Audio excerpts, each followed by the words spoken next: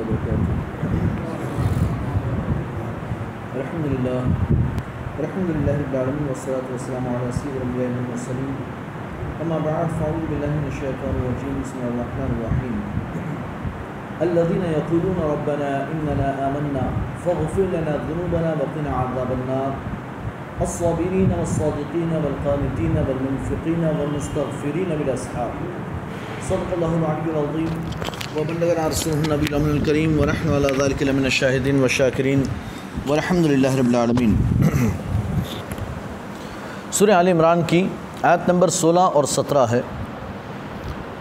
इससे पहले की जो आयत है आयत नंबर 15 उसमें अल्लाह तबारक तारा ने मतकीियों के लिए जन्नत का ज़िक्र फरमाया था कि मतकीियों के लिए, परहेज़गारों के लिए जन्नत है। और फिर जन्नत के अवसाब भी बयान फरमाए, ऐसी जन्नत के जिसके नीचे से नहरें जारी है, उस पर हमने गुज्तर तफसीर में ज़िक्र किया था। अब इन आयात में, पंद्रह और सोलह में, अल्लाह तबारक ताली ने मुत्तकीन के अवसाब बयान किए। मुत्तकीन ये परहेज़गार कैसे लोग हैं? ये कैसे लोग हैं? उन्हीं का ज़िक्र करते हुए फरमाता अल्लादीन यकुलून रब्बना, इन्नना आमन्ना। ये वो लोग हैं जो कहते हैं कि ए हमारे रब, हम ईमान लाए। अल्लाह ने आठ अवसाब बयान किए हैं मुत्तकियों के परहेज़गार के कैसे लोग होते हैं, कहते हैं, ये वो लोग हैं जो कहते हैं, रब्बना इन्नना आमन्ना फ़िर लना जुनूबना वक़िना आज़ाबन्नार ए हमारे रब, हम ईमान लाए तो तो हमारी मगफ़रत फरमा, हमारे गुनाहों को माफ़ फरमा और हमें अज़ाब नार से बचा, जहन्नम के अज़ाब से हमें बचा। कहते हैं कि यहाँ पर अल्लाह तबारक ने सबसे पहले ईमान की सिफत बयान फरमाई। भाई तकवा परहेज़गारी, इबादत, आमाल, सब कुछ जो है, ईमान के बाद ही मकबूल है, बग़ैर ईमान के सब ज़ाय, सब बर्बाद है। तो सबसे पहली बात, ये मुत्तकी परहेज़गार वो हैं जो कहते हैं इन्ना आमन्ना, हम ईमान लाए। ए हमारे रब, रब्बना इन्ना आमन्ना, हम ईमान लाए। और ईमान के जो लवाजमात हैं, जो चीज़ें हैं, वो आप जानते हैं किन किन चीज़ों पर ईमान लाना। है ना? अल्लाह पर क़यामत के दिन पर फ़रिश्तों पर रसूलों पर। आम, हम ईमान मुजमर और ईमान मुफसल बचपन से पढ़ते आए इन सारी चीज़ों पर तकदीर पर अच्छे बुरी तकदीर पर अल्लाह की जानब से होने पर ईमान लाना। तो सबसे पहली बात इन्होंने कही हम ईमान लाए। और फिर इस ईमान के बाद कहते जब ईमान लाए हैं फ़िलना तो इस ईमान के सदक़े वसीले से इस ईमान के तवसल व तुफ़ैल से अल्लाह हमारे गुनाहों की मगफ़रत फरमा। ये अपने सबसे पहले ईमान का इजहार करते हैं, अपनी वफ़ादारी का इजहार करते हैं। अल्लाह, हम तेरे गद्दार नहीं हम तेरे वफ़ादार हैं, तेरे मानने वाले हैं। और अल्लाह, हम गुनहगार हैं, ख़ताकार हैं। हमसे ख़ताएँ होती रहती, गुनाह होते रहते हैं। तो अल्लाह तो हमारे गुनाहों को माफ़ फरमा दे। अब यहाँ पर ये दुआ गुनहगारों के लिए भी, हम जैसे लोग भी यही दुआ करें कि अल्लाह हमारे गुनाह माफ़ कर दे। वाकई हमने गुनाह किए हैं, हमने ख़ताएँ की हैं और हम माफ़ी मांगते हैं। कि अल्लाह हमारे गुनाह माफ़ कर दें, ईमान के सदक़े। कुछ वो हैं कि जो नेकोकार हैं अलिया कराम हैं, सालहीन हैं, जो गुनाह नहीं करते, फिर भी यही दुआ करते हैं, रब्बना इन्ना आमन्ना फ़िर लना जुनूबना। अल्लाह, हम ईमान लाए तो अल्लाह, हम ईमान वाले हैं तो हमारे गुनाह माफ़ कर दें। और जो मासूम हैं, मासूमीन हैं अम्बिया कराम वो भी यही दुआ करते हैं। तो गुनहगार भी यही दुआ करते हैं, नेकोकार, अबरार, सालहीन भी यही दुआ करते हैं। और मासूमीन जिनसे हो ही नहीं सकता, नेकोकार, सालहीन अलिया कराम अबरार जो है, ये तो वो लोग हैं कि जो अपने आप को गुनाहों से बचाते हैं, लेकिन इम्कान तो है कि गुनाह हो सकता है। इम्कान तो है कि गुनाह हो सकता है कि कोई ख़ता हो सकती है। किसी के बारे में हम नहीं कह सकते कि इससे गुनाह हो ही नहीं सकता। इसलिए कि अल्लाह तबारक वाली ही है जो आलिमगैब व शहादा है। वही जानता है, जो पोशीदगी में, ज़ाहिर में, सारी चीज़ें वही जानता है। हम तो सिर्फ़ ज़ाहिर देखते हैं, और जब हम ज़ाहिर देखते हैं तो ज़ाहिर पर हम हुक्म लगाते हैं कि भाई, बड़ा नेकोकार, अल्लाह का वली। बज़ाहिर लगता है कि अल्लाह का वली है, बड़ा नेकोकार है। अब वो अल्लाह ही बेहतर जानता है कि उसके क्या मामलात हैं। है ना? ज़ाहिर तो अल्लाह का बज़ाहिर अल्लाह का वली। लेकिन अंदरूनी मामलात क्या हैं, वो अल्लाह बेहतर जानता है, हमें नहीं पता। तो अब किसी के बारे में हम यानी कि ज़ाहिर देखें कि भाई नेक है तो हम कह सकते हैं बहुत नेक है। गुनाहों के करीब भी नहीं जाता। हाँ लेकिन अल्लाह जानता है कि वो जाता है या नहीं जाता। तो ऐसे लोग भी तो यानी गुनाह का इम्कान है। हम किसी के बारे में, ख्वाजा गरीब नवाज़ हों, गौस आज़म हों या कोई पीर वली हो, हम किसी के बारे में ये नहीं कह सकते उनकी हयात में, जब वो बाहयात थे तो उनके ज़माने के लोगों ने ये नहीं कहा कि इनसे कभी कोई गुनाह हो ही नहीं सकता, इनसे कभी कोई ख़ता और गलती हो ही नहीं सकती। कहते ऐसी सिफत तो सिर्फ़ अम्बिया और फरिश्तों की है। वरना इंसान है तो गुनाह भी हो सकता है, गलतियाँ और ख़ता हो सकती है, लग्जिशें हो सकती है।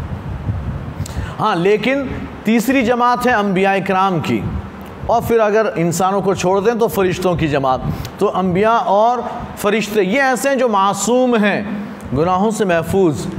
इन दो के सिवा अम्बिया और फरिश्ते, इनके सिवा कोई ऐसा नहीं जो मासूम। शिया हैं जो अपने इमामों को भी मासूम कहते हैं कि उनसे कभी कोई ख़ता, गलती, गुनाह, सगीरा, कबीरा कुछ नहीं हो सकता, है ना? अच्छा आप गुनाह से, यानी कि बाज़ मरतबा ये, यानी कि होता है कि भाई, हम गुनाह किसे कहते हैं? एक तो सवाल ये भी है कि गुनाह किसे कहते हैं? नेकोकारों के यहाँ तो है ना छोटी छोटी बातें गुनाह हो जाती, जो हमारे लिए गुनाह नहीं है। जिसे हम नहीं समझते गुनाह, नेकोकार औलिया के नज़दीक वो भी गुनाह हो जाती है, और उस वजह से भी वो अल्लाह की बारगाह में तौबा करते हैं। हमसे ये ख़ताएँ हुई, हमसे गुनाह हो गया, बहुत बड़ा गुनाह हो गया। उनके नज़दीक बहुत बड़ा गुनाह हुआ, हमारे नज़दीक तो गुनाह ही नहीं था। ये एक एक तो डेफिनेशन का भी फ़र्क है कि हमारी नज़र में जो चीज़ गुनाह नहीं है, हो सकता है औलिया की नज़र में सबसे बड़ा गुनाह वही हो।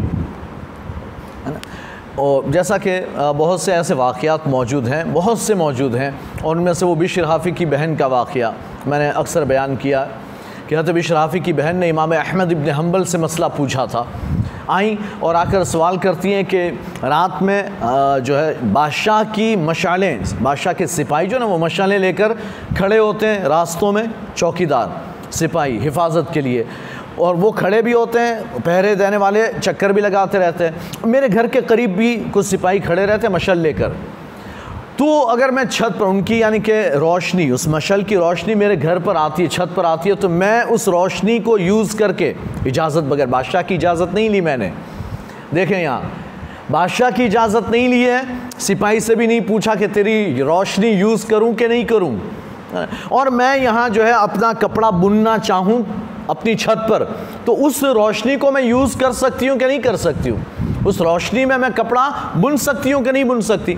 अब देखें, मैं दो चीज़ें आपको बताऊँ। एक ये सवाल करने वाली सवाल कर रही है मशाल के बारे में। एक हमारी स्ट्रीट लाइट। हमारी स्ट्रीट लाइट और बहुत से लोगों के वाक़ात और बुज़ुर्गान दीन के, ऐसे वाक़ात के वाक़ात है कि जिन्होंने, जिनके घर में लाइटें नहीं होती थी, सरकारी फानूस जो है इन घर में कुछ है ही नहीं, इंतज़ाम ही नहीं। लाइट तो थी नहीं, लेकिन तेल का भी इंतज़ाम नहीं कि फ़ानूस जला ले, दिया जला ले।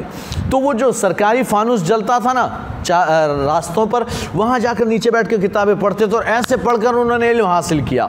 इनका कमाल बयान किया जाता। इतनी परेशानी के साथ उन्होंने इल्म हासिल किया। ये इनका कमाल। और इसी तरह से बाज़ लोगों का बयान किया किसी के घर में यानी कि लाइट जलती रोशनी और उसके दरवाजे से या सुराख से जो रोशनी बाहर आती थी, उसमें बैठ कर किताबें पढ़ कर उस, वो आलिम बना। तो कितनी मेहनत की उस बंदे ने। ये उसका कमाल है। और यहाँ भी शराफी की बहन है, जो सवाल करती है कि बादशाह की मशाल हमारे घर के बाहर सिपाही लेकर खड़ा होता है तो मैं उसकी रोशनी में अपना कपड़ा बुन सकती हूँ कि नहीं? हत इमाम अहमद इबन हम्बल जो है ना, अपने वक्त के अजीम इमाम है मुश्तद मुहदस है ना? हदीस में मुस्द इमाम अहमद इबन हम्बल बाकायदा कई जल्दों में आपने हदीस की किताब तस्लीम फरमाई। अब आप जो ये सवाल सुनकर चौंक गए। इतना ख़तरनाक सवाल तो है ना, कोई आम आदमी नहीं पूछ सकता। आम आदमी तो यूज़ कर लेगा, वो थोड़ी पूछने आएगा कि मैं करूँ कि नहीं करूँ। हाँ भाई, रोशनी है, कर लिया, यूज़, क्या फ़र्क पड़ता है? क्या फ़र्क पड़ता है? लेकिन ये कोई आम आदमी नहीं, ये कोई आम औरत नहीं, ये कोई ख़ास है। तो आपने पूछा, ए बहन, ये बता, तुम हो कौन? तुम हो कौन? क्या मैं बिशर हाफ़ी की बहन हूँ? नाम कहीं नहीं आया। और ये इस्लाम के, यानी ये है कि जहाँ भी इस तरह के ज़्यादातर औरतों के नाम नहीं आते। भाई, एक औरत, एक और। सहाबियात के नाम हदीस में वारिद हुए, लेकिन वो भी जो अच्छे कामों के अतबार से। ये कहते हैं कि, भाई तुम कौन हो? क्या मैं बिशर हाफ़ी की बहन? अब आप रोने लगे। हत इमाम अहमद नंबर रोने लगे। और रोते रोते आप फरमाते हैं कि अगर किसी और ने पूछा होता ना तो मैं कहता कि बिल्कुल इस्तेमाल किया जा सकता है। उस रोशनी को, उसमें आप अपना कपड़ा बुन सकती हैं, कोई हर्ज नहीं कि आप अपना काम कर सकती है। कोई मसला नहीं, लेकिन तुम तो बिशहाफ़ी की बहन हो, जिसके घर से तकवे की नहरें जारी होती है।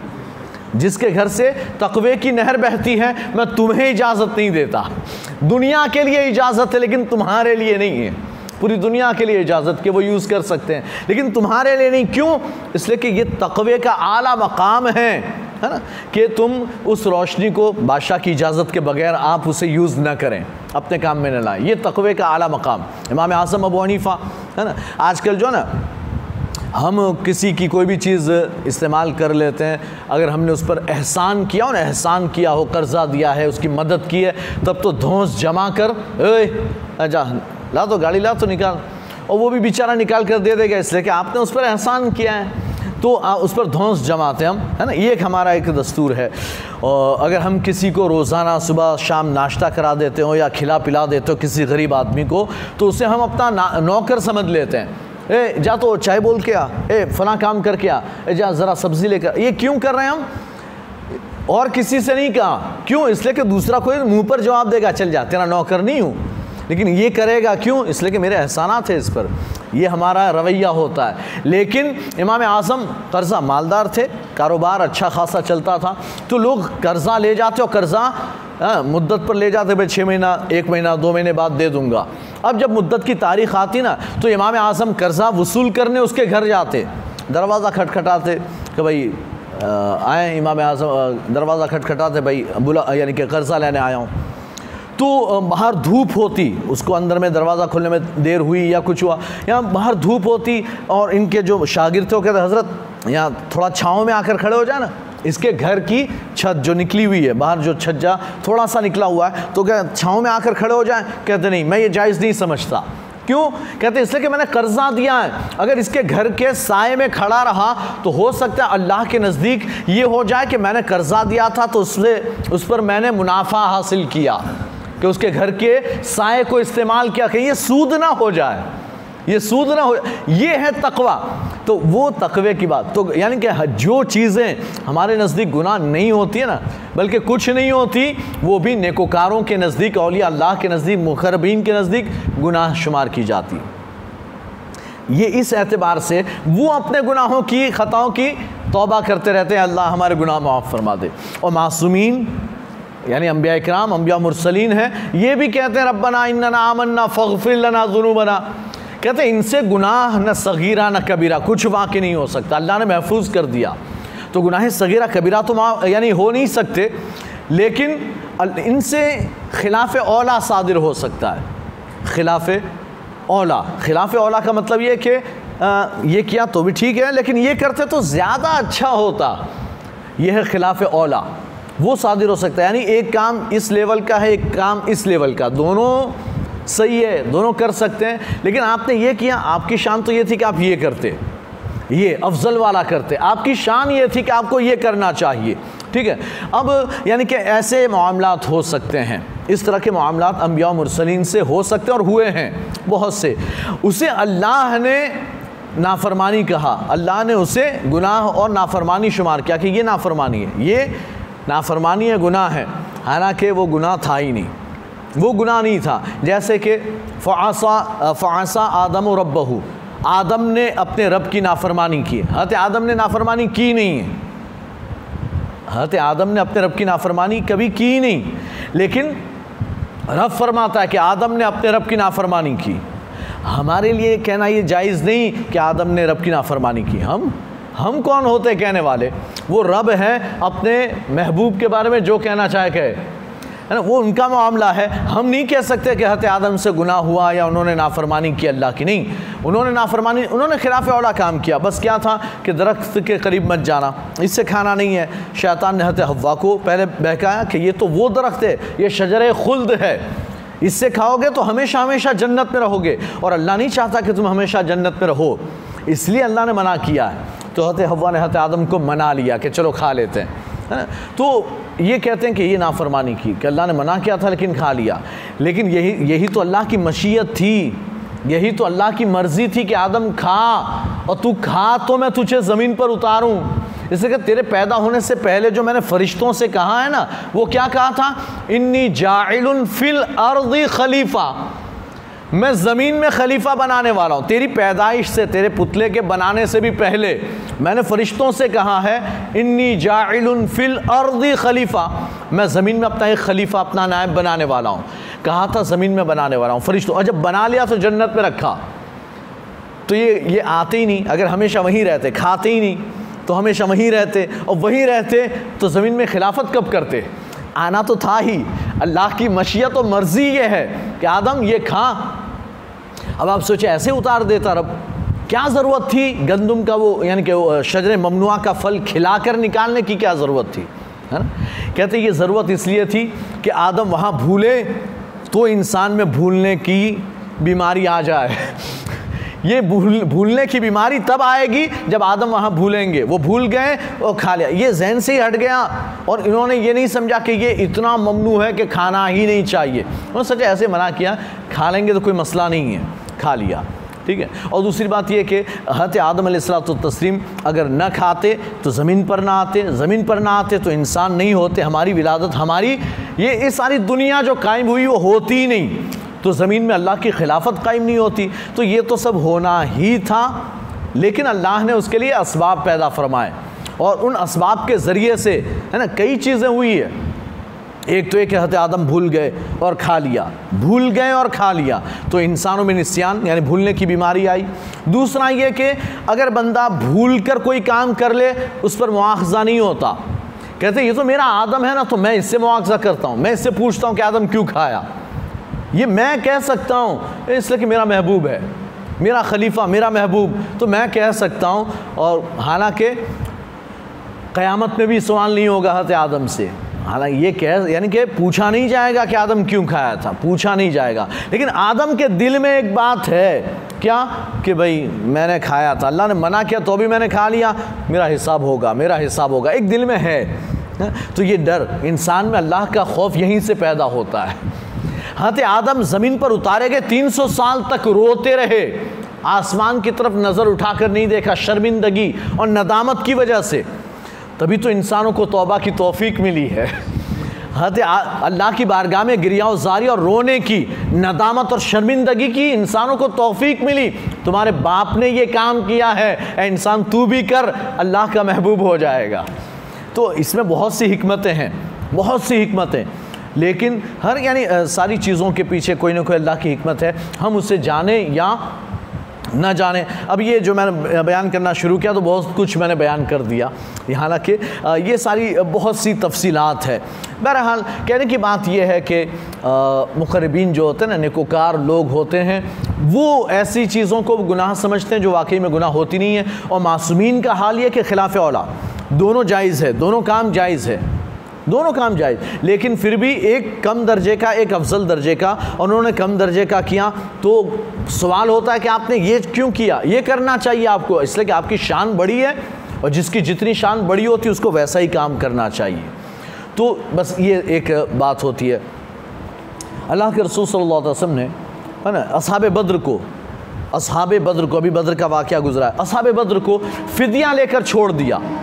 माल गनीमत, यानी कि फ़दिया लिया कि भाई इतनी रकम जमा करो कैदियों को, जो कैदी थे, उनको छोड़ दिया। और कुछ का फ़दिया तो ये मुतन क्या कि भाई तुम हमारे दस लोगों को लिखना, पढ़ना सिखा दो तो तुम आज़ाद हो। कैद से आज़ाद।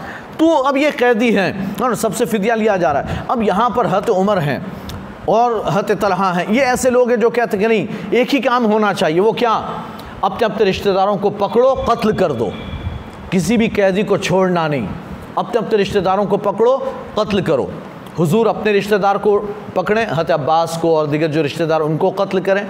मैं, उमर, मैं अपने रिश्तेदारों को कत्ल कर दूँ, अबू बकर अपने रिश्तेदारों को कत्ल कर दे फ़ना अपने, यानी जितने मुसलमिन हैं, अपने कैदी रिश्तेदार को कत्ल कर दे, यही सज़ा होनी चाहिए। लेकिन अबू बकर सिद्दीक हैं और दिगर साहबा, वो कहते नहीं फितिया लेकर छोड़ दिया जाए। सरकार ने इसी को पसंद किया। अब अब देखें, अल्लाह कुरान में आयत नाजिल फरमाते महबूब नबी के लिए ये मुनासिब नहीं कि फ़िदिया लेकर उनके पास कैदी हों, कुफार, मशरकिन कैदी हों तो फ़िदिया लेकर छोड़ दें। ये मुनासिब नहीं, ये अच्छी बात नहीं है। बल्कि होना ये चाहिए कि उनको कत्ल कर दिया जाता। होना ये चाहिए कि उनको कत्ल कर दिया जाए।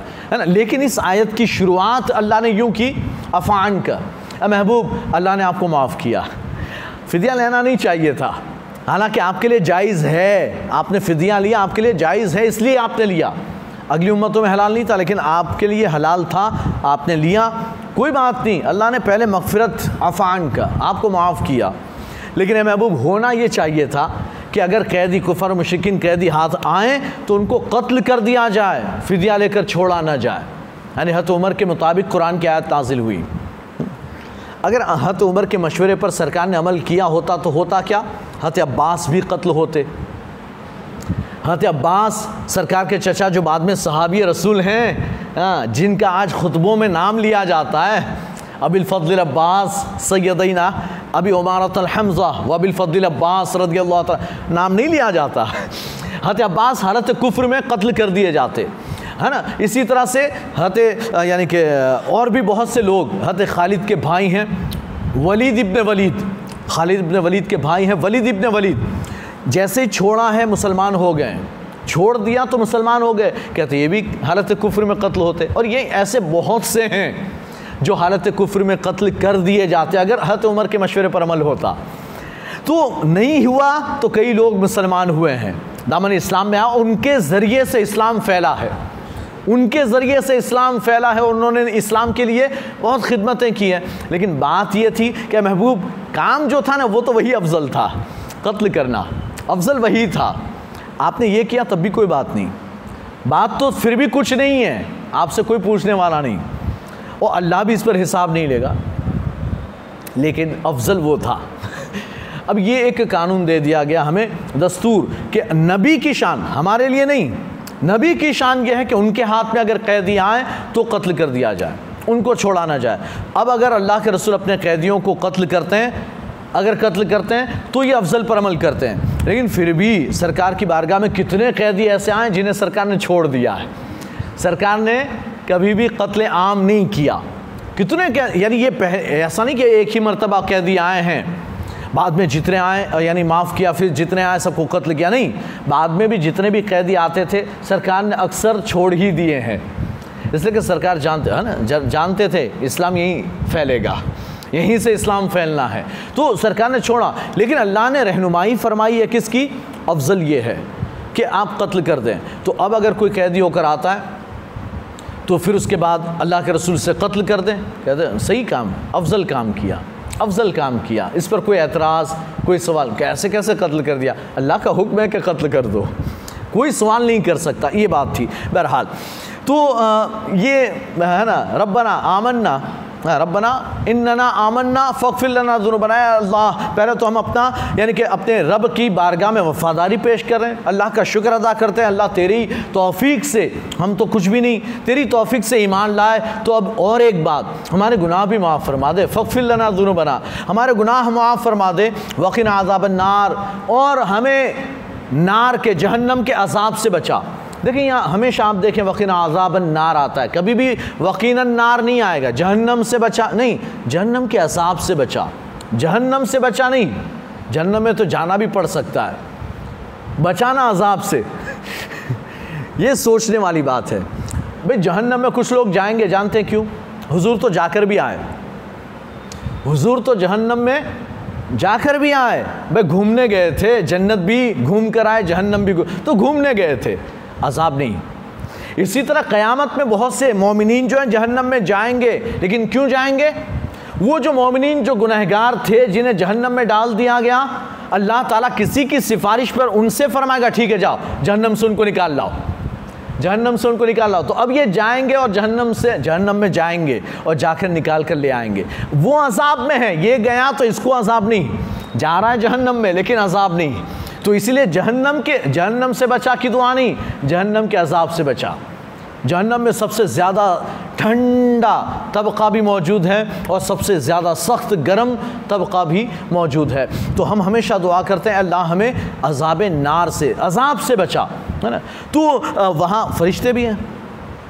अजाब के फरिश्ते भी तो जहन्नम में हैं ना? जहन्नम में हैं, लेकिन उन पर अजाब नहीं।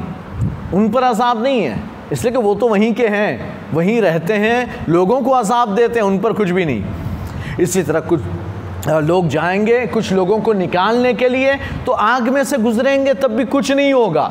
उनको आग कुछ नहीं करेगी। क्यों? इसलिए कि ये अजाब के लिए नहीं आ, तकलीफ़ उसी को होगी जो अजाब के लिए आएगा। इनको तकलीफ़ नहीं होगी, आग अजियत नहीं पहुंचाएगी, इसलिए कि अजाब के लिए नहीं आए। ये तो बचाने आए हैं, निकालने आए। तो निकाल कर ले जाएँगे, वो अजाब में, उससे अजियत, और ये जाएँगे, इनको कुछ भी नहीं। है ना? तो बहरहाल, इसलिए हम दुआ करते हैं अल्लाह हमें जहन्नम के अजाब से बचा। अब ये तीन सिफतें, ये कहते हैं, आमन्ना इन आमन्ना फ़िलना बना वक़ना बन्ना अब अल्लाह तबारक ताली और सिफत बयान फरमाता है असबिरीन वसादीन वलक़ानतीन वलमफ़ीन वलमस्तफ़रीन बिलसहार वो तीन के अलावा ये पाँच चीज़ें उनके अंदर होती है। पाँच चीज़ें क्या कहते हैं? सब्र करने वाले। आयत नंबर आल इमरान की, ये आयत नंबर है सत्रह। कहते हैं सब्र करने वाले। अब ये सब्र करने वाला, सब्र किस चीज़ पर? भाई, मुसीबतों पर भी सब्र किया जाता है। इबादतों पर भी सब्र किया जाता है। मैंने इससे पहले भी तफसीर में बयान किया, इबादतों पर भी सब्र किया जाता है। और ये सब्र कैसा होता है? मैं आपको फजर में उठकर, वज़ू करके और गसल अगर फ़र्ज़ है तो गसल करके आपको आना है और आकर नमाज़ पढ़नी है। नींद, प्यारी प्यारी नींद छोड़ कर आना है। तो सब्र कितना करना पड़ता है?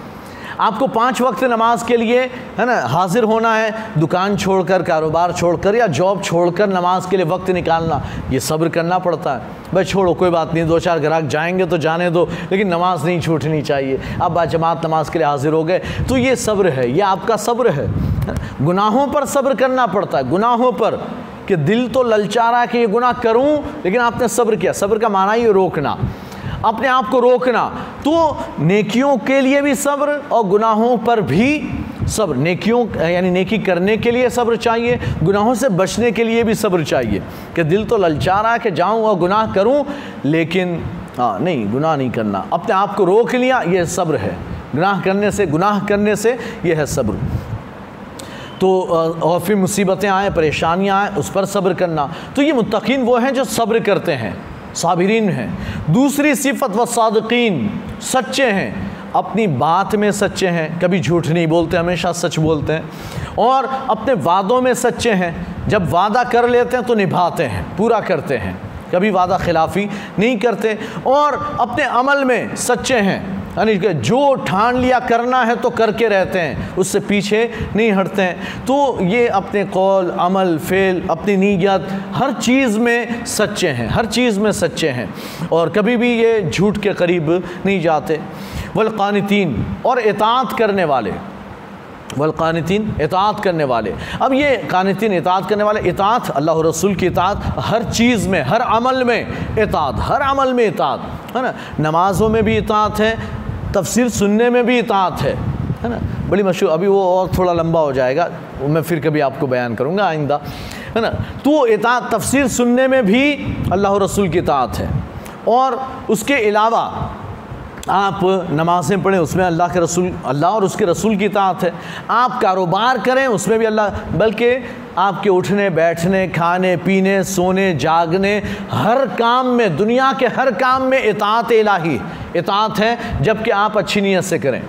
हर काम। अपनी बीवी को आप अपने हाथ से खिला रहे हैं, अपने हाथ से खिला रहे हैं, और नीयत खैर है। कि भाई अल्लाह के रसूल ने फरमाया कि तुम में सबसे बेहतरीन वो हैं जो अपने अहलो आयाल के साथ सबसे बेहतर हैं। और अल्लाह ने कुरान में फरमाया व आशिरहन बिलमारूफ़ अपनी बीवियों के साथ अच्छा सलूक, नेकियों का सलूक करो। और इसीलिए मैं ये काम कर रहा हूँ। आपको उस पर भी सवाब मिलेगा। आपको इस पर भी सवाब मिलेगा। तो अब यानी दुनिया का हर काम अगर अच्छी नीयत से किया जाए तो उस पर सवाब ही सवाब तो वो भी इतात बन जाएगा। तो इतात करने वाले हैं। वलमुनफ़ीन और ख़र्च करने वाले हैं। खर्च करना, ये अब हर चीज़ सिर्फ़ मालो दौलत ही खर्च नहीं, जान भी खर्च की जाती है, वक्त भी खर्च किया जाता है। जान भी खर्च की जाती है, वक्त भी खर्च किया जाता है अल्लाह की राह में, और माल भी खर्च किया जाता है। आप फ़करा मसाकिन पर ख़र्च करें, आप मस्जिद मदरसों पर खर्च करें, आप यानी कि जिहाद के लिए ख़र्च करें, या आप जो है, उसके अलावा जितनी भी चीज़ें, दीनी चीज़ें हैं, उस पर खर्च करें। गरीबों का ख्याल रखें, यतीमों पर खर्च करें, ये सारी अच्छे नेक कामों में खर्च करें तो फिर यह मुनफ़ीन है ना? तो अक्सर जो है, यानी वैसे सारे ख़र्चों पर इसका इतलाक़ होता है, जान के यानी जान खर्च करना और वक्त खर्च करना, सारी चीज़ें, लेकिन ज़्यादातर माल खर्च करने ही पर हम उसका इतलाक़ करते हैं, भाई माल खर्च करना। और माल कहाँ खर्च करना? बहुत सी जगह हैं, माल खर्च करने की, अल्लाह की राह में खर्च करने की। और तो ये खर्च करते हैं, कंजूसी नहीं करते, बखीली नहीं करते, अल्लाह ने माल दिया तो उससे खर्च करते अल्लाह की राह में। वलमस्तफ़रीन बिलसहार और अल्लाह तबारक ताली की बारगाह में तोबा इस्तफ़ार करते रहते हैं। तोबा इस्तफ़ार करते हैं। कब? बिलसहार सुबह। सुबह के वक्त। अब ये यहाँ, यानी या तो तहजद के वक्त मुराद हो सकता है। वलमस्तफ़रीन बिलसहार सुबह सवेरे रब की बारगाह में इस्तफ़ार करते हैं। यानी कि तहजद में उठ कर तहजद पढ़ते हैं और रब की बारगाह में तोबा इस्तफ़ार करते हैं। या फजर की नमाज़ में। है ना, सुबह सवेरे। तो ये सुबह उठकर फजर के वक्त अर्ली मॉर्निंग के सारे जहान में, यानी सारे इलाके में सन्नाटा छाया होता है, सुकून होता है, और उस सुकून के लम्हात में जब सब सो रहे हैं, ये बंदा उठकर रब की बारगाह में तोबा इस्तफ़ार कर रहा है, रब की इबादत कर रहा है। तो कहते हैं ये मुत्तकी की परहेज, यानी मुत्तकियों की परहेजगारों की ये निशानी है। ये आठ सिफतें हैं जो अल्लाह ने कुरान में बयान फरमाई मुत्तकियों के लिए, है ना? कि मुत्तकी ऐसे होते हैं। इस पर और भी कुछ बातें हैं इन आइंदा तफसर में बयान होगी। कुछ बातें मैं आपको बयान कर दूँ। अलामा फजल हक खैराबादी अलरमतरजवान मुजाहिद जंग आज़ादी, हिंदुस्तान की जंग आज़ादी के मुजाहिद आज़म बतल जलील हैं। अलामा फजल हक खैराबादी, बारह सफ़र, देखें शुरू हो गई, बारह सफ़र। बारह सफ़र आपका योम विसाल है। आज भी आपका मज़ार मुबारक, जज़ीरा इंडोमान इंडोमान निकोबार, है ना? वहाँ पर मौजूद हैं और वहाँ बारह सफ़र को उर्स मनाया जाता है। आपने जो है, आप बारह सौ अट्ठारह सौ सत्तावन जिसे हम गदर कहते हैं ना, अंग्रेज़ों ने इसे गदर का नाम दिया, लेकिन हम उसे जंग आज़ादी का नाम देते हैं। तो ये अट्ठारह की जो जंग हुई है अंग्रेज़ों से 1947 में मुल्क आज़ाद हुआ अट्ठारह में ये पहला गदर हुआ। यानी गदर का मतलब जंग आज़ादी की इब्तदा हुई, शुरुआत हुई है। तो ये जंग आज़ादी की जो इब्तदा और शुरुआत हुई, अल्लामा फजल हक खैराबादी उसके हीरो हैं। इन्होंने फतवा सबसे पहले जारी किया है। अंग्रेज़ों के ख़िलाफ़ कि अंग्रेज़ों को मुल्क से निकाला जाए। अब ये जो है ना सबसे पहली बात तो है कि अलामा फजल खैराबादी अलमतरजवान इनके वालिद अलामा फजल इमाम खैराबादी। ये सीतापुर ज़िला के खैराबाद में एक के रहने वाले, वहाँ पैदाइश हुई है। बारह सौ बहत्तर में आपकी विलादत हुई है। या बारह सौ बहत्तर में तो वफ़ात हुई है, उससे भी पहले आपकी विलादत हुई। तो आप जो है अल्लाह फजल खैराबादी इल्मी घराने से ताल्लुक़ रखते थे, आपके जो वालिद हैं, वो भी अपने ज़माने के ज़बरदस्त आलिम, फ़कीह थे और अल्लाह फजल खैराबादी पैदा हुए तो इल्मी घराना था ओरमा की, यानी भरमार थी ख़ानदान में। तो आप भी बचपन से इल्म फ़न के दरमियान, यानी इल्म की माहौल में आपने परवरिश पाई तेरह साल की उम्र में आप आलिम फाजिल मुफ्ती सब हो चुके थे। सारे उलूम नकलिया से आप फारिग हो गए, तेरह साल की उम्र में। और आपका क़वत हाफजा बड़ा कवी था। चार महीने की मुद्दत में आपने पूरा कुरान हिफ्ज़ कर लिया। चार महीने में पूरा कुरान हिफ्ज़ कर लिया। और तेरह साल की उम्र में सारे फ़नून से फारिग हो गए और ऐसे ज़बरदस्त आलिम अरबी अदब हो फ़ारसी अदब हो उर्दू अदब सब में आपको महारत ताम हासिल। फ़लसफ़ा और मंतिक फ़लसफ़ा और मंतिक।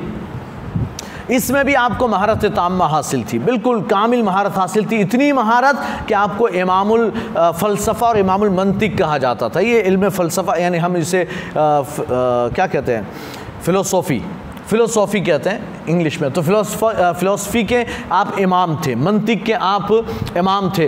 तो इसमें यानी इतना आपको तबहर हासिल था कि आप जो कह देते, वो आखिरी बात होती थी। आप जो कह देते, वो आखिरी बात होती थी। तो इतना कमाल आपको हासिल था पूरे हिंदुस्तान में नंबर वन के मंतिक और फ़लसफ़े में नंबर वन के आलिम थे। है आपने कई किताबें भी लिखी हैं। आप अजीम फ़कीह भी थे मुफ्ती भी थे और आ, साथ ही साथ आप मुहदस भी थे। आपने इल्म हदीस अल्लामा अब्दुल कादिर मुहदस दहलवी से आपने इल्म हदीस हासिल किया। अपने वालिद से भी इल्म हासिल किया और भी दिगर लोगों से इल्म हासिल किया। तो आप जो है बाद में अंग्रेज़ों के यहाँ नौकरी भी किया आपने। लेकिन अट्ठारह में आप जो है एक शख्स थे, एक यानी कि आलिम दीन थे, उनसे आपकी मुलाकात हुई। और जब मुलाकात हुई तो उनसे जब बातचीत हुई तो उनके ज़रिए से आपकी जहनीत तब्दील हुई। चेंज हुई उनको यानी कि नाम तो कुछ और था लेकिन डंका शाह के नाम से वो मशहूर थे। वो मौलाना जो थे वो डंका शाह के नाम से मशहूर थे। तो उनसे जब बातचीत हुई तो आपका जहन जो है वो उसमें इनकलाब पैदा हुआ क्या वाकई अंग्रेज़ों के ख़िलाफ़ जो है हमें आ, कुछ काम करना चाहिए। तो फिर जो है आपने और बहादुर शाह ज़फ़र उस वक्त आखिरी मुग़ल बादशाह थे। बहादुर शाह ज़फ़र दहली में आपकी सल्तनत थी। तो आपने जो है दहली आने के बाद दहली आकर आपने वहाँ पर जो है जाम मस्जिद में आपने ख़िताब भी किया और लोगों के सामने ये फतवा जारी किया। भाई, मैं आपसे सवाल करता हूँ। आप बताओ कि क्या है? आपने खूब, यानी ज़ोरदार तकरीर की और फिर आपने सवाल किया और फिर कहा कि मैं ये फतवा देता हूँ कि अंग्रेज़ों के ख़िलाफ़ जिहाद करना फ़र्ज़ है मुसलमानों पर। इससे कि उस वक्त हुकूमत जो है ना 800 साल की हुकूमत किसकी थी? मुसलमानों की हुकूमत थी। तो मुसलमानों की हुकूमत छीनी गई थी, अंग्रेज़ों ने छीनी थी। तो मुसलमानों की हुकूमत वापस लाने के लिए कहते मैं फतवा जिहाद देता हूँ, जिहाद का फतवा। सारे मुसलमान खड़े हो जाएँ। तो इससे पहले तक किसी के दिमाग में जो है ना, ये बात नहीं थी। ये जितने क्रांतिकारी हुए हैं, ये सब क्रांति यहीं से पैदा हुई है। ये क्रांतिकारी जितने हैं, सबके दिमाग में ये रोशनी जो आई है, वो यहीं से फतवे जिहाद। अब सारे मुसलमान जो है, उठ खड़े हुए कि हाँ अंग्रेज़ों के ख़िलाफ़ जिहाद करना चाहिए। और फिर उसके बाद बहुत से, यानी कि अठारह सौ सत्तावन में ये, यानी कि जंग हुई, कुछ जगहों पर अंग्रेज़ों को हराया भी। लेकिन आखिरकार अंग्रेज़ों ने अपनी मक्कारी से बड़े बड़े लोगों को अपने साथ कर लिया, मिला लिया और कुछ लोगों को ख़रीद लिया। इस तरह से जो है, उन्होंने इस बगावत को दबा दिया। इस जंग आज़ादी का ख़ात्मा कर दिया, इसे ख़त्म कर दिया ओलमा को सूली पर चढ़ा दिया गया। रोज़ाना हर हर गाँव और शहर में जो है रोज़ाना सुबह होती, लोग घर से बाहर निकलते तो कुछ ना कुछ ओलमा दरख्तों पर सूली पर लटके हुए होते थे। कुछ ना कुछ ओलमा और जो बड़े बड़े कायदीन थे, उन्हें भी गिरफ़्तार कर लिया गया। अलामा फजल खैराबादी को भी गिरफ़्तार कर लिया गया। बरा, लेकिन और इन्हें भी गिरफ़्तार करने का जो वाक़ वो ये है कि मलिका विक्टोरिया की जानब से, है ना, एक आम माफ़ीनामा ऐलान हुआ कि भाई जितने अब सब ख़त्म हो गया, जितनों ने भी इसमें हिस्सा लिया था, हमने सबको माफ़ किया। किसी से कोई सवाल नहीं किया जाएगा, किसी को कुछ नहीं कहा जाएगा। अलामा फजल खैराबादी छुप, छुपे हुए थे।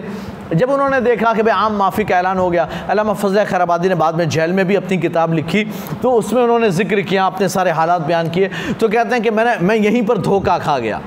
कि ये तो अल्लाह को नहीं मानते, इनके वादों पर और इनकी कस्मों पर हमें एतबार और भरोसा नहीं करना चाहिए। इन्होंने बड़ी बड़ी कस्में खाई थी और अतमाद और भरोसा दिलाया था कि हम किसी को पकड़ेंगे नहीं, किसी से कुछ नहीं कहेंगे। लेकिन जैसे ही मैं निकला, अपने गाँव पहुँचा कुछ जासूसों ने खबर कर दी तो मुझे गिरफ़्तार कर लिया गया। और गिरफ़्तार करने के बाद काला पानी की सज़ा सुनाई गई। आपको काला पानी इंडोबान निकोबार, आपको भेज दिया गया। ये रंगून में एक टापू है। रंगून भी एक टापू हाँ रंगून नहीं वही इंडोमान ही एक टापू है बाकायदा। है ना? तो वहाँ आपको भेज दिया गया और पहले यहाँ मुख्तलिफ़ जेलों में रखा गया, फिर आपको वहाँ भेज दिया गया। वहाँ, यहाँ जब इब्तदान वहाँ गए थे तो आपको कचरा उठवाया जाता था साफ़ सफ़ाई करवाई जाती थी तो सारा कचरा अपने सर पर टोपरे में उठाकर आप फेंकने ले जाते थे। तो ये सारे काम किए, है ना? और मुकदमा चला तो आपने, यानी कि जज ने कहा, भाई आप कोई वकील रखना चाहेंगे? आपने कहा, मैं खुद ही अपना वकील हूँ, मैं खुद अपना केस लड़ूँगा। तो आपने खुद ही अपना केस लड़ा। बहरहाल, उसने आपको काले पानी की सज़ा दे दी, आपको भेज दिया गया। तो वहाँ ये साहब बहुत अजियतें दी गई। बहुत आपको मारा पीटा गया, अजियतें दी गई। जब केस लड़ा ना तो आपसे पूछा गया मुकदमे में कि भाई आप, यानी इनकार कर, आप कह, यानी कहते हो कि आपने फतवा दिया था? कि हाँ बिल्कुल मैं कहता हूँ। मैं मानता हूँ कि मैंने फतवा दिया था और अब भी मैं अपने फतवे पर कायम हूँ। मैं माफ़ी नहीं माँगता। मैं रुजू भी नहीं करता कि मैं अपना फतवा वापस लेता हूँ। नहीं, अंग्रेज़ों के ख़िलाफ़ जिहाद करना फ़र्ज़ है। मैं अब भी कहता हूँ, इनको सज़ा दे दी गई। बहरहाल, बाद में वहाँ एक जो है, जो सुपरवाइज़र वहाँ का था, वो एक नया आया और उसने कोई किताब लिखी थी। और उस ज़माने में तो फ़ारसी, अंग्रेज़ भी फ़ारसी में किताबें लिखते थे, अंग्रेज़ भी फ़ारसी बोलते, पढ़ते थे तो उसने एक किताब लिखी थी। तो उस किताब को सही करने के लिए उसने एक मौलाना को दिया कि भाई ये किताब देखो और देख कर बताओ कि इसमें कुछ गलतियाँ हैं या नहीं। तो मौली साहब जो हैं, उन्होंने वो अलामा फजल खैराबादी को जेल में जाकर दी। तो अलामा फजल खैराबादी ने उस पर नज़र की, जहाँ जहाँ गलतियाँ थी उसकी असलाह की, साइड में हाशिए भी लगाएँ, जहाँ जहाँ, यानी हवाले भी दिए कि भाई ये बात लिखी हुई है, ये फ़लाँ किताब में मौजूद है, ये बात लिखी है, ये फ़लाँ किताब में है, ये फ़लाँ किताब में है, ये बात फ़लाँ किताब में मौजूद है। तो हवाले भी दे दिए किताबों के, और जो गलतियाँ थी उसकी असलाह भी कर दी और दे दी। तो उसने जब देखी ना तो बहुत खुश हो गया। कहीं, किसने क्या? आपने क्या? नहीं नहीं, वो जेल में एक अलामा फजल खैराबादी है, उन्होंने काम किया। तो बड़ा खुश हुआ तो फिर उसने जो है मुहर्र का काम दे दिया कि आपको जो है, ये काम, सब कचरा उठाने का काम आपको नहीं करना। हाँ आपको थोड़ा अच्छा काम दे दिया गया, लिखने का, लिखने पढ़ने का काम दे दिया गया। बहरहाल तो इस तरह अलामा फजल खैराबादी जो है वहाँ पर रहे, सज़ा काट रहे थे। उसके बाद अल्लामा अब्दुल हक खैराबादी जो आपके बेटे हैं, उन्होंने यहाँ पर केस लड़े और यानी सिफारिशें करवाई। बहरहाल आपको परवाने, यानी कि आज़ादी मिल गया कि भाई आपको छोड़ दिया जाए। तो तेरह फरवरी, है ना, तेरह फरवरी 1961 में आप, आपके बेटे वहाँ पहुँचे ये आज़ादी का परवाना लेकर के आपको आज़ाद कर दिया गया, जेल से छोड़ दिया गया, आपकी सज़ा माफ़ कर दी गई। ये लेकर पहुँचे और जब वहाँ जहाज़ से उतरे हैं तो देखा कि लोगों की भीड़ लगी हुई है, एक जनाजा जा रहा है। आपने कहा भाई, किसका जनाजा है? कि अल्लामा फजल खैर आबादी का जनाजा है। कल 12 फरवरी को आपको सज़ाए मौत दे दी गई, फांसी पर चढ़ा दिया गया। तो ये अलामा फजल खैर आबादी का जना बहरहाल उनके बेटे भी अपने बाप के जनाजे में शरीक हो गए। वहीं पर आपको दफन किया गया, पोर्ट ब्लियर नाम की वो जगह है, जहाँ पर आपको ये दफन किया गया। आज भी वहाँ आपका मज़ार है और वहाँ बारह सफ़र को आपका उर्स मनाया जाता है। तो जंग आज़ादी में, बाद में अठारह के उस गदर को दबाया गया। लेकिन पूरे हिंदुस्तान के लोगों में, चाहे मुस्लिम हो या गैर मुस्लिम, उनके दिमाग में एक बात डाल दी कि अंग्रेज़ों को निकालना है। अपने मुल्क से अंग्रेज़ों को निकालना है। ये बात लोगों के दिमाग में आई। तो अब क्या होता कि कोई इस गाँव में चिंगारी उठती, कभी उस गाँव में अंग्रेज़ों की मुखालफ होती, कभी वहाँ, कभी इधर, खबरें आने लगी। रोज़ बरोज़ अंग्रेज़ों पर हमले होते, उनके हथियार छीन लिए जाते। ये सारे कहना यहाँ तक कि फिर जो है उन्नीस सौ सैंतालीस में हमारा मुल्क आज़ाद हुआ। लेकिन ये जो क्रांतिकारी की जो इब्तदा थी, इस इनकलाब की जो इब्तदा थी, वो अट्ठारह सौ सत्तावन में अल्लाह फजल खैर आबादी ने इसकी बुनियाद रखी थी। अल्लाह तबारक ताली उनकी कब्र पर रहमतों की बारिश नाजिल फरमाए और हमें भी वो जज्बा अता फ़रमाए। वाखुर अलहमदिल्ला अल्लाम वरहमल वर्क